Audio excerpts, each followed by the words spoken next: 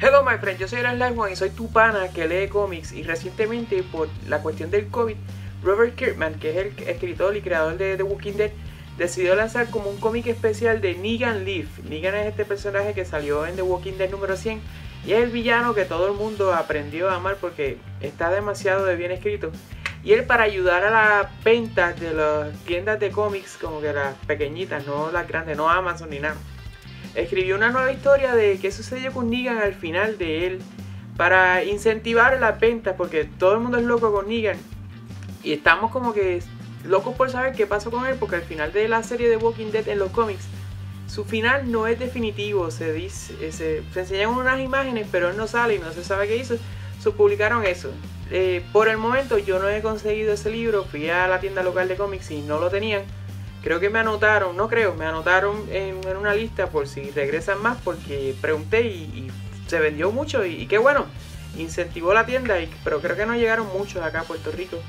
la ganancia no fue tanta, pero ojalá lleguen un montón y, se vendan y se cumpla eso que Kirkman quería hacer.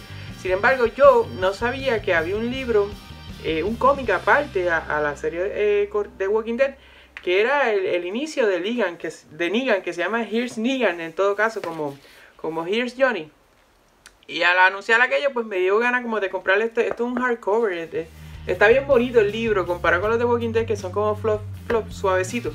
Por lo menos yo tengo todos los volúmenes de Walking Dead en, en, su formato más económico. Yo sé que hay unos más costosos y mejores. Y yo dije, pues mira, lo leí, es bien cortito y lo, lo dibuja Charlie Adler y todo eso. Eh, eh, básicamente es otro, otra historia de Walking Dead, pero aparte a la, a la narrativa regular o la narrativa main del cómic.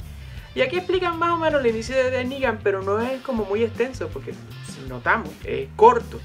So, yo te voy a hacer como un relato corto y bien, bien, no sé, no, no de la mejor manera de, de, del origen de Negan este, Negan, al principio de la historia, eh, él y su esposa, que se llama Lucille, yo creo que eso se revela en la serie, si no, pues aquí estamos tratando de ponerla al día, porque Lucille es el bate, con, en, la historia regular es el bate con las hambres de púa, pues él saca el nombre de su esposa, que él descubre que ella tiene cáncer. Eh, al, rápido que empieza la historia, todavía no está el outbreak, no ha roto lo de los zombies él descubre que tiene cáncer y en, ese mismo momento él va a donde parece que él tiene, tiene no, ¿sabes? Tiene otra mujer, le está pegando cuernos a su pareja y le dice a ella, mira, mi esposo tiene cáncer, es como que vamos a dejar de vernos. Y ahí la otra persona como, ah, tú eres una porquería persona, eres una basura y qué sé yo. Y Negan dice como, sí, sí, I know, qué bueno que te diste cuenta ahora porque yo no sirvo, no te quiero volver a ver y qué sé yo. Y Negan era como que, esa es la idea no te quiero yo volver a ver a ti porque voy a estar full con mi esposa que tiene cáncer. Y él va donde la esposa le dice, mira mi amor, eh, decidí estar contigo en vez de con fulana. Y ahí tú descubres que, la relación de Negan y su esposa no estaba al 100% bien. Pero él decide como voy a estar contigo en el cáncer y la esposa como, ah, debiste haberle escogido a ella porque yo no voy a durar tanto y qué sé yo, bla, bla, bla, bla, bla. Eh, una discusión y digan como que no. Después empiezan a enseñar como en páginas rápidas porque la historia va a las millas como que Negan y su esposa durante el tratamiento de cáncer. Ella, ella, su apariencia está bien y de momento pues sin cabello, en el hospital, vomitando. Y Negan ahí metiendo mano. Dato curioso, Negan es maestro de educación física y Negan tiene la boca sucia todo el tiempo. Él no desarrolló sus malas palabras y sus diálogos. En los cómics él habla muchísimo malo. No desarrolló eso en la, en la pandemia, no es. En el Outbreak de Zombies ya él era así más o menos. Esta es la parte más cool del libro. Cuando él está con su esposa en, la sala del hospital y ella ya está en la última, explota lo de los zombies. Se indican por, la ventana del hospital, ve que está todo ese reguero afuera y las explosiones todo. Imagínate esa escena bien cabrona. Y dentro del hospital como un pandemonio, un, un reguero cabrón. Y alguien va a la puerta de Negan y le dice, ¡Mire, cabrón! Tenemos que irnos, está bien aquí. Negan como que, ¿qué carajo pasa? O sea, que te da. Y él tranca la puerta, se pone a mirar para afuera y pasa lo más obvio, pero para mí fue una, totalmente, una total sorpresa. Se muere su esposa y automáticamente se convierte en un zombie. Y Negan así como, ¿qué te pasa? Ya, pero mujer, ¿qué te zombie y toda la cosa. Ahí Negan dice como, coño, ¿qué carajo pasa? Y sale afuera, ¿por qué le pasa a esta cabrona? Y hay un chamaquito que le explica, eres puñeta, está todo el mundo aquí zombie. Y Negan empieza a matar a todo, a todo el que ve, pero no a la esposa. El primer, la primera persona que Negan se encuentra le dice, pues voy a limpiar a todas las personas que hay en este piso. Y va y mata a la esposa de Negan y regresan y dice, mira, esa era tu mujer. Y Negan como que, ah, como que pichea la cuestión y se, le dice al chamaco, como, vamos, vámonos, vámonos. Negan baja y cuando el chamaco se va a ir, Negan le trata, es un joven de 13 años. Y Negan le dice, como, ven, vente conmigo, yo te llevo a tu casa porque en verdad yo creo que tú no vas a sobrevivir. Y aquí empieza, la historia va a las millas. Y es que el chamaquito lo encuentra y los zombies lo matan. Y, y después enseñan a Negan encontrándose un montón de gente que los conoce, se unen y los matan. Los conocen, se unen y los matan. Negan está como puñeta. Qué débil es la gente. Están matando a todo el mundo. Todo el que se une a mí lo matan. Hasta que se encuentra el, grupo de, de Dwight. Creo. No, no de Dwight. De, vamos a buscar el nombre de. Del, ay, se me olvidó. El, el, el que se encuentra Vale, el que él le pega una plancha en la cara en el cómic, que no, no estoy seguro si es, si es el mismo. Vamos a ver el nombre de ese individuo aquí. Come on, Dwight, sí, es Dwight. Qué bobo soy. Dwight. Y es como que básicamente Negan. Dwight era el líder del grupo que Negan tiene cuando Rick y compañía se encuentran con eso. Se encuentra con Dwight y le explica a ella como, mira, hola, yo soy Negan, habla mal, qué sé yo, y, poco a poco Dwight se va volviendo el líder de ese grupo porque está tomando mejor, eh, Dwight no, perdón, Negan, se está tomando mejores decisiones que Dwight. Y poco a poco a Dwight le va dando envidia hasta que se sabe que Negan termina teniendo sexo con la esposa de él. Y se vuelve el Negan que todos conocemos.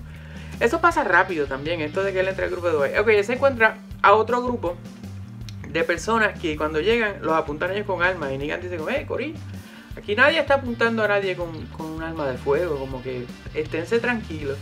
El tipo sigue jodiendo apuntando a Negan y ahí es la primera persona que Negan mata con el bate. Lo coge y dice, este cabrón, pa, y le, rompe el cráneo al tipo con el bate. Y se vira y dice, diablo, ¿qué carajo yo acabo de hacer? ¿Qué yo carajo acabo de hacer aquí? mientras está haciendo eso, está poniendo el bate en barbed wire y se va transformando él como que, puñeta, esto es lo que yo tengo que hacer. Y se vira y le dice a ellos, ustedes son unos cabrones y lo maté a él, pero ustedes ahora van a trabajar para mi grupo, como la misma amenaza que le hizo al grupo de Rick cuando se encuentran por primera vez. Y de ahí nace esa cuestión. Negan se vuelve tan ruthless y, ahí el libro termina, porque hizo su transformación total. Negan está cansado de que, cansado de que la gente alrededor de él se muera por, por bobería, él dice por, por, pendejo, por tener eh, sentimientos hacia personas que tú conoces que matan. No, tú tienes que ser rudo así para sobrevivir. Y él les dice, yo toda mi vida he estado, toda mi vida no, desde que empezó esta cuestión he estado con, con Lucille, Lucille, y dice, Lucille es el bate, y todo el mundo, ah, puñeta, el bate es Lucille. Pero todo el mundo sabe que, bueno, la historia te cuenta que Lucille es la esposa. Que básicamente muere y, y él como que dice que la debilidad de la gente es la debilidad que él tuvo por su mujer, porque al ella entrar en el cáncer, dejó todo para estar por ella y como que esa transformación, él dice que es la debilidad que tenemos nosotros o que tienen ellos allá y por eso no progresan. Y él se puso rudo así, se puso medio huele bicho para poder prosperar. Este es más o menos el libro de Negan. Es mejor leerlo que la estúpida explicación. O estúpida no. Mi genuina explicación, pero nada que es mejor que leerlo. Porque hay un montón de detalles que yo pude haber dejado o pude haber malinterpretado muchísimas cosas en el libro. Me gustó. Este, no, no es la. No es nada, diablo, esto está bien cabrón. Está ok. Es más de Walking Dead. No, no pienso que va a salvar a los niños ni curar el cáncer no, no es una recomendación musical, pero compré un disco de, de Police, Synchronicity, me gusta mucho. The Police es una de mis bandas favoritas. Y de hecho, grabé un disco, un video sobre este disco súper largo y después que lo edité y todo, tuve un problema para poderlo salvar. Se perdió uno de los masters del pietaje más importante para poder, volver atrás y trabajarlo y, y se jodió. Perdí el video, so, aquí como que lo incluyo. Synchronicity de Police está cool, es el último disco que hicieron, me gusta un montón, es una de mis bandas favoritas. Ve a Spotify o a donde sea que tú escuches música y capealo. Lo capeas, lo bajas, lo escuchas, tiene un poco de pop eh, ochentoso cuando The Police estaba como rompiéndose, hicieron un, buen álbum. Aquí, aquí está Every Breath You Take, King of Pain, este, Walking in Your Footsteps, este, este tiene un montón de música bien cabrona es altamente recomendado por el Slide One en el canal del Slide. Juan Genieve en Twitter, Slide One Review en Facebook e Instagram. Esos son los espacios donde este canal está disponible las 24 horas del día, los 7 días de la semana. Todos los martes, Hablando Pop es un podcast que hago junto al hermano Gabriel en el canal de Hablando a 24 Frames en YouTube y en podcast. Y a veces en estos días, esporádicamente, dándote en la cara, se une con Hablando Pop y hace Denkla Pop, que es un podcast donde el hermano Eric, Chicho Rodríguez y hermano Gabriel, junto al Live One, se unen por más o menos media hora a hablar lo que suceda en ese periodo de tiempo. Nos vemos en la próxima, Corillo. Chao, my friends.